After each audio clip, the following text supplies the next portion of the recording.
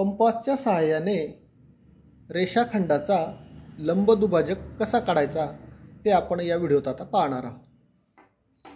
सर्वात आधी आपण एक रेषाखंड काढूया.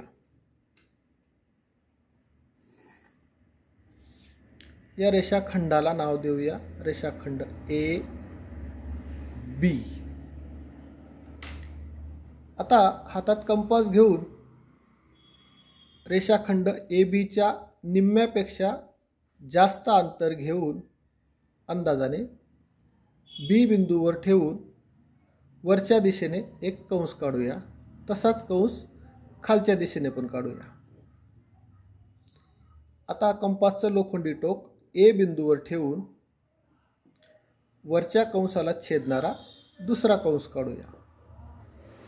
तसाच कंस खालच्या कंसाला छेदणारा दुसरा कंस काढूया.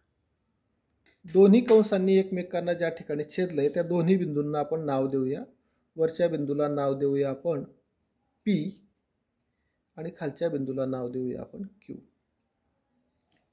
आता बिंदू पी आणि बिंदू क्यूमधून जाणारी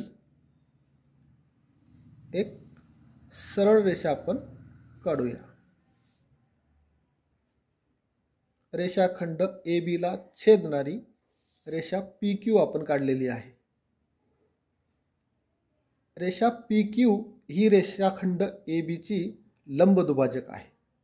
याचा अर्थ या ए बी या रेषाखंडाचे रेष रेषा पी क्यूने दोन समान भाग केलेले आहेत या प्रकारे आपण दिलेल्या रेषाखंडाचा लंबदुभाजक काढू शकतो. धन्यवाद.